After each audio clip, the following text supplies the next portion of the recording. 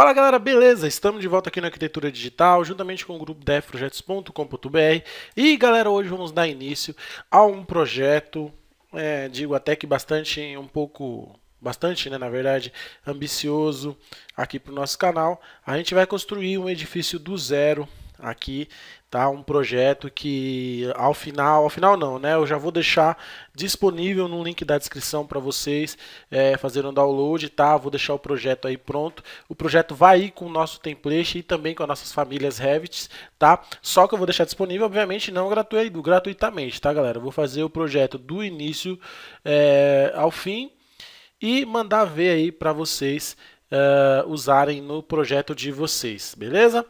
Ah, usar no projeto de vocês não, vocês vão poder usar esse, esse, esse edifício aí para vários trabalhos de faculdade, entre outras coisas aí que vocês forem usar é, em outras coisas. Beleza, galera? Bom, deixa eu começar aqui já e fazer aqui o projeto da prosseguimento, tá? Primeira coisa que a gente vai fazer aqui, galera, nesse nosso projeto é começar pelas nossas... Uh pelo, pela nossa malha estrutural, tá? Vamos fazer a nossa malha de estrutura. Eu vou afastar um pouco as nossas vistas aqui e a gente vai começar a desenhar, tá? Então, só selecionar aqui e mover a, a, o sistema todo aqui, beleza? Bom, vou pegar aqui o nosso, a nossa primeira linha de malha estrutural, tá? Tá vendo aqui que ela já vai deixando um por um, então é esse, esse, é esse ícone aqui né? Vamos selecionar aqui e já vamos copiar. Eu vou copiar múltiplo, eu vou fazer aqui, ó, a cada 5 metros, tá? Eu vou fazer um, uma linha estrutural, tá bom? Deixa eu fazer de novo do começo para vocês entenderem. Então, eu vou clicar no, na minha linha estrutural, vou aqui na ferramenta de copiar e vamos vir aqui digitar 5 de 5 metros, né? 5 de 5 metros, 5 de 5 metros, e aí nós vamos aqui colocar algumas linhas aqui, tá? E aí nós vamos contar aqui agora. Então a gente vai um, dois, três, quatro, um, dois, três, quatro, cinco, seis, sete. Então aqui nós temos um total aqui de quanto? Vamos pegar aqui, ó. A gente tem um total de 30 metros, o que já está muito bom, beleza? Lembrando que, vamos, se a gente olhar nas nossas vistas aqui, né? A gente tem uh, um pavimento térreo. O primeiro pavimento, até do pavimento térreo até o primeiro pavimento, nós temos 3 metros, depois nós temos 6, depois nós temos 9, depois nós temos 12 e assim por diante, tá bom? Como eu disse para vocês, galera, é, vai ficar o link na descrição aí do nosso do nosso template. Nosso template vem com todas essas informações já todas configuradas, beleza? Bom, vou pegar aqui uma outra linha, tá? Uma outra linha de estrutural aqui para a gente trabalhar com ela. Eu vou até fazer ao contrário aqui, ó, para essa bolinha ir lá para cima, tá? E vamos pegar aqui, clicar nela de novo, tá? Ó, deixar aqui múltiplo, tá? Ticado, beleza? E aí nós vamos pegar aqui e vamos colocar 5, 5, 5, 5, tá? Vamos colocando o valor de 5. Beleza? E aqui deu até um problema que ela deu um movimentado. Então eu tenho 1, 2, 3, 4, 5, 6, 7. Essas duas não vão precisar. Então a gente deleta. Pronto, já está tudo na mesma altura. Já vou aproveitar e jogar ele para cá. Tá? Então, basicamente, esta área aqui, que obviamente ela é de 30 por 30 metros, né? Vai ser aonde a gente vai fazer o nosso edifício. Tá? O nosso edifício vai acontecer neste espaço aqui. Pode parecer pequeno agora, galera, mas não é. É bem grande, tá bom? Vamos salvar aqui, né, galera? É, lembrando que se você estiver usando o nosso, nosso template, então é bom você vir aqui na, na aba Arquivo, vir e salvar como, salvar modelo e colocar o nome do seu projeto, tá? Para você não perder o template que você adquiriu, beleza? Uh, mas nós vamos clicar aqui em salvar mesmo ou Ctrl S. Desculpa. Beleza, galera? Bom, pessoal, uh, como eu tenho já esse, essa grade aqui para trabalhar, eu vou pegar aqui a minha parede, tá? Lembrando que essa aqui vai ser a minha parede externa, então eu vou fazer ela com a pintura branca aqui, ó, tá vendo? Uma parede de 15 centímetros com a pintura branca. Beleza? E aí eu já vou pegar a partir deste ponto até este ponto, eu vou ter os 20 metros, né? E aí eu já vou ter aqui a fachada do meu projeto. Vamos olhar em 3D aqui, tá? Obviamente que a gente vai ver somente uma, uma, uma, como é que fala? Uma parede branca normal e é isso exatamente que eu quero. Só que eu vou entrar aqui, vou tirar aqui minhas pontas de forro, vou entrar aqui na minha vista leste e vou aumentar essa minha, esse meu andar aqui para 5 metros, tá? E aqui eu vou colocar é, o próximo andar vai ter 4, 4 metros, então ele vai ficar com 9, né? 9. Ele se misturou ao outro projeto, ao outro pavimento aqui, beleza? Então o que a gente vai fazer? A gente vai pegar o nono aqui e vamos colocar ele a, a 17, tá? Só para a gente ter um espaço para colocar o pavimento 2. Uh, ah, aliás, o pavimento 2 está com 6, né? O pavimento que era o 3 aqui, eu preciso de 4 metros, vai estar tá com 10, certo? Vamos voltar aqui agora.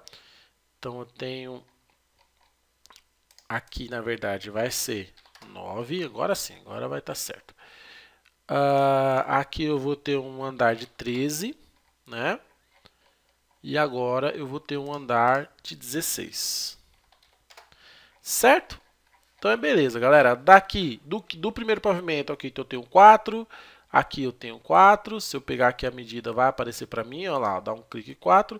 E no primeiro pavimento eu tenho 5. Por quê? Eu quero que no primeiro pavimento eu tenha um espaço maior entre as áreas de convivência, porque o primeiro andar vai ser onde vai ficar os nossos elementos ali de... como é que se fala? A área de convivência, né? Então a gente vai ter ali academia, a gente vai ter elevador, a gente vai ter vários espaços ali que vai ser de uso comum, tá? Além dos usos privados, que é obviamente os nossos apartamentos que vão subir para os outros andares, né? Então o que, que a gente vai fazer aqui, galera? Uh, eu posso vir aqui e fazer os outros andares. Eu não vou fazer isso agora porque eu vou fazer primeiro o meu pavimento plano aqui, da parte de baixo do nosso terreno, tá? Nosso terreno, desculpa, do nosso prédio. Vamos aqui em pavimento térreo, tá?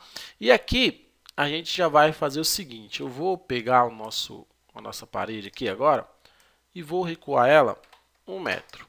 Opa! Ela está com 20, então ela vai ficar com 19. 19 não, vou pôr ela com 19.5. Opa! É 19. Tá, já entendi, Revit. Aí, beleza. Aí, maravilha tenho que pegar ela aqui, ó, é 19.5, beleza? E aqui eu vou pegar, né, essa parte aqui, opa, vamos de novo aqui, e aqui eu vou colocar ele com 19, beleza? Por que, que eu estou fazendo isso? Porque eu vou pegar aqui uma, uma outra parede, vamos pegar aqui, e vamos jogar para cá, tá? Nesse caso aqui pode ser aleatório, não tem problema. Então, eu vou pegar aqui uma outra parede e vamos jogar ela para cá, beleza? Bom, com isso, eu tenho a minha parede feita, tá? Só que aqui eu quero fazer uma divisão é, mais... É, uma, uma divisão aqui, quero fazer um recorte, tá? Eu vou colocar só essa linha aqui como referência, porque eu vou pegar ela aqui, ó, tá com um metro, vou colocar com né, um metro mesmo, né? Vou colocar com um metro, beleza. E agora sim, era isso que eu estava querendo fazer, ó, pegar essa divisão, colocar aqui. E então, eu quero essa minha linha aqui, que eu vou pegar uma outra linha de referência, só para ter referência, tá galera? Depois a gente vai deletar esses valores que estão aqui. E vou pegar ele aqui e vou colocar com um metro também, tá? E aí eu vou jogar essa linha para cá, vou pegar uma outra parede e colocar aqui, tá? Era exatamente isso que eu queria fazer, o recorte. Eu usei essa, essa, essa linha aqui mais, né, é, mais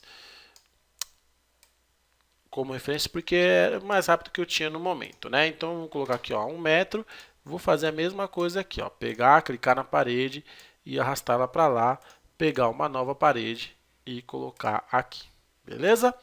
Bom, agora eu posso deletar aqui para não atrapalhar Então, se eu olhar no meu 3D aqui, eu tenho a minha fachada com uma parede né, em curva aqui, sem novidade para ninguém, não é isso? Vamos lá para o nosso pavimento terra, olhando aqui a nossa grade. Então, lembrando que aqui eu tenho 5 metros, né?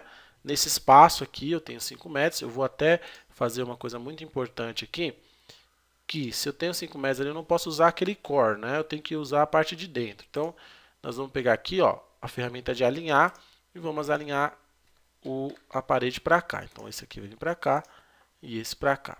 Então, vamos dar um clique aqui na parede e jogar lá para fora para me ter o espaço que eu pensei desde o início, né? Obviamente.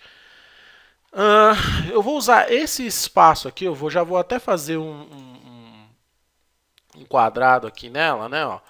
Vamos pegar ele aqui. E vou usar esse espaço como circulação vertical, tá? É, pode parecer grande, mas depois a gente vai ver que não vai ficar tão grande assim, né? E aí a gente vai imaginar que a circulação vertical ali vai ser neste espaço aqui, tá bom? Com isso, eu vou, vou deixar aqui já dividido e aqui eu já vou ter um hall de acesso, né? Já vou aqui fazer um desenho do meu hall de acesso.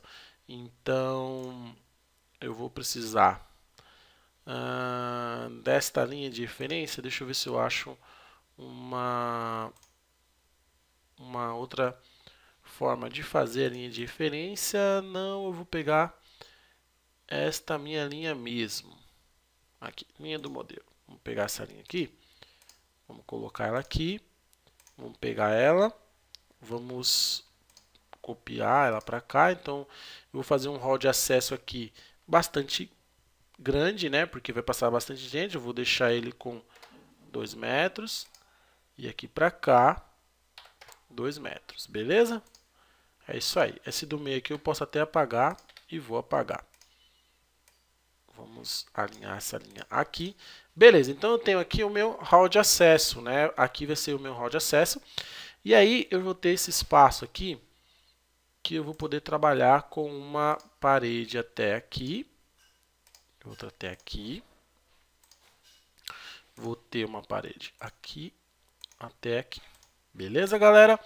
Com isso, eu vou fazer já dois ambientes aqui, né? Tá vendo? Eu já vou ter dois ambientes aqui, onde eu também posso vir e fazer uh, aquele retrabalho lá, né? Vamos pegar aqui as nossas linhas, né? Uh, a linha mesmo que eu quero. E se eu colocar aqui, ela vai sobrepor, então eu vou precisar colocar uma linha de referência aqui, né? No nosso desenho. E essa eu vou copiar ela aqui, tá vendo? Vou jogar ela um pouco para cá, beleza. E vou pegar uma outra linha e vou copiá-la para cá, tá? Como eu falei para vocês, galera, é só um uso como referência, tá? Então, vamos colocar aqui 0.5 uh, aqui 0.5. Então, eu quero fazer sim o recorte, tá?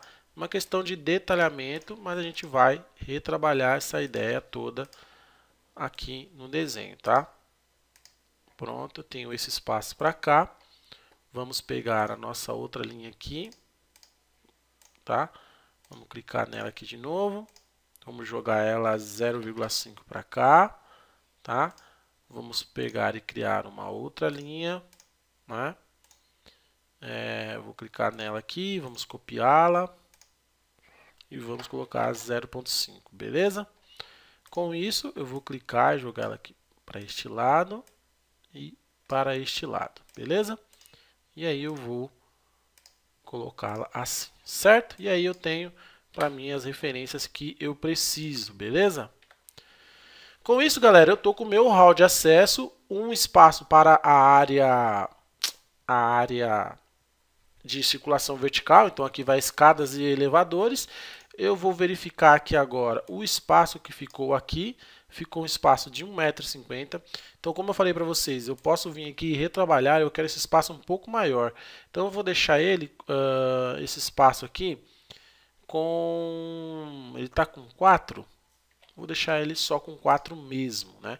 E aí eu vou ter este, esta ideia aqui já no nosso desenho. Tá vendo? Com todo o espaço pronto e feito aqui no nosso projeto, beleza?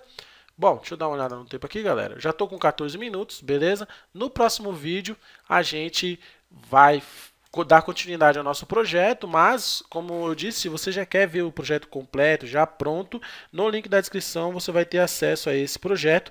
Porém, a esse projeto você vai ter uh, acesso ao projeto em si, ao template e a todas essas nossas famílias Revit aí completa aí para vocês. Além de você fazer o download destes projetos, você também vai ter acesso às famílias Revit para download. Beleza, galera? Bom, sendo assim, pessoal, eu vou ficando por aqui. Um abraço a todos, espero que vocês tenham gostado de mais esse vídeo. Valeu, falou, até mais!